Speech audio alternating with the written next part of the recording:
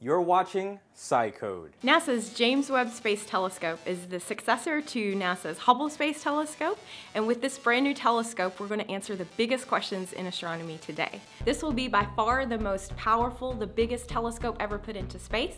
In fact, it's so big that we have to fold it up to fit inside the rocket, and then it will deploy like a transformer once it's in space. This telescope will be 100 times more powerful than Hubble, and we'll learn amazing things about the universe using this awesome new telescope. Some of the things we hope to learn are about the very first galaxies that were born after the Big Bang. We'll learn about how galaxies and black holes form and grow over time. We'll learn about how stars form inside dust and gas clouds. And we'll also learn about planets, both planets within our own solar system and planets orbiting other stars outside of our solar system.